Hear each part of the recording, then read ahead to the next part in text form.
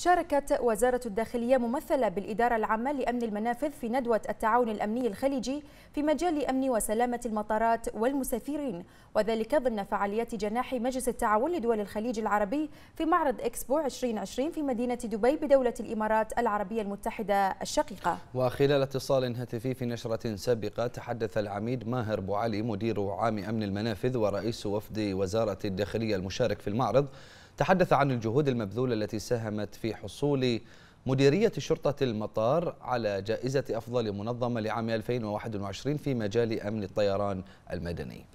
بعد موافقة سيدي معالي وزير الداخلية شاركت المديرية في أعمال الدورة الخامسة لمؤتمر أمن الطيران المقام في دبي طبعا بمشاركة أكثر من 50 دولة من مختلف دول العالم.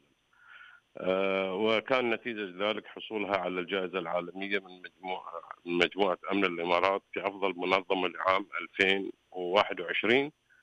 والتي كان من ضمن شروط الحصول على احدى هذه الجوائز أن تكون منظمة روجت لثقافة التعاون